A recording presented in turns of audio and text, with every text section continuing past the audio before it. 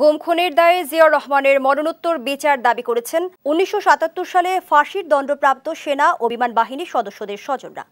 জাতীয় প্রেস ক্লাবে এ নিয়ে সংবাদ সম্মেলনে তারা দাবি করেন, জাতীয় সংসদ ভবনের মতো গুরুত্বপূর্ণ স্থাপনায় এমন একজনের কবর থাকতে পারে না। সাইদুল্লাহ জানাচ্ছেন বিস্তারিত।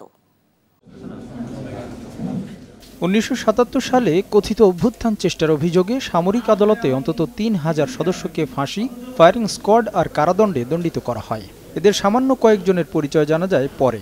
সে ঘটনায় অসংখ্য পরিবার উপার্জনক্ষম ব্যক্তিকে হারিয়ে অথৈ সাগরে পড়ে।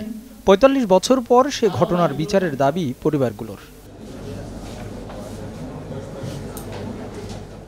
দাবির কথা জানাতে সকালে জাতীয় প্রেস ক্লাবে সংবাদ সম্মেলন করে ভুক্তভোগীরা। বলেন, প্রিয় স্বজনের মরদেহ তো দূরের কথা, কোথায় সমাহিত করা হয়েছে তাই জানেন না তারা।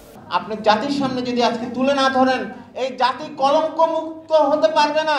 কারণ সেদিন সূর্য সন্তানরা যারা বাংলাদেশের আকাশকে রক্ষা করার জন্য, এই দেশের মুক্তির জন্য যারা সংগ্রাম করেছিল, যারা সামনের কাতারে ছিল, তাদের সন্তানরা আজকে দেখেন, এখানে বসে আছে, তার বাবার লাশটা কোথায় কবর দেওয়া হয়েছে, সেই খবরটুকু জানে না।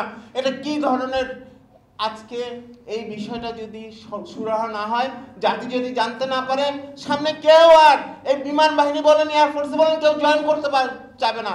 আমার আমার মনে হয়। সে ঘটনার জন্য জিয়াউর রহমানের মরণোত্তর বিচারের জন্য কমিশন গঠনের দাবি তোলেন স্বজনরা। উনি জিয়া রহমান আমার জীবনটারে তছনছ করে দিয়েছে। আমি কোথায় একটু শান্তি পেলাম না? কি আমার অপরাধ ছিল? যে সব কিছু থেকে আমাকে বঞ্চিত করল আর আমার বাবার বিনা অপরাধে ফাঁসি দিল। আমি শুধু আমি বাবার এই ফাঁসির বিচারটা চাই। কেন আমি এত কষ্ট করে বড় হলাম? আমার বাবার স্বপ্ন ছিল আমাকে ডাক্তার বানাবে। ডাক্তার তো দূরের কথা। আমি তো পেট ভরে ভাতই খেতে পারি নাই। আমি কীভাবে ডাক্তার হব? আমার স্বপ্ন ছিল যখন আমি পড়াশোনা করব, মানুষের মতো মানুষ হব, তখনই আমার বাবাকে বিনা অপরাধে খুনি রহমান ফাঁসি দিয়ে আমার বাবাকে মেরে ফেলল। জিয়াউর রহমানের কবর শেরেবাংলা নগর থেকে সরিয়ে নেওয়ারও দাবি তাদের। আর এ নিয়ে সরকার পদক্ষেপ না নিলে নিজেরাই কবর সরানোর উদ্যোগের কথাও জানান তারা। খুনি জিয়া কর্তৃক যে সকল বীর মুক্তিযোদ্ধা ও সেনা ও বিমান বাহিনীর সদস্যদের অন্যায়ভাবে ফাঁসি দেওয়া হয়েছে তাদের নামের তালিকা প্রকাশ করা এবং শহীদ হিসাবে স্বীকৃতি প্রদান করা। তিন অন্যায়ভাবে ফাঁসি দেয়া কারাদণ্ড ও চাকরিচ্যুত সেনা ও বিমান বাহিনীর সদস্যদের স্ব স্ব পদে র্যাঙ্কে পদোন্নতি দেখিয়ে তাদের তাদের বর্তমান স্কেলে বেতন, ভাতা এবং পেনশন পরিবারের সদস্যদের এবং পুনর্বাসন এবং সকল প্রকার সুযোগ সুবিধা নিশ্চিত করা।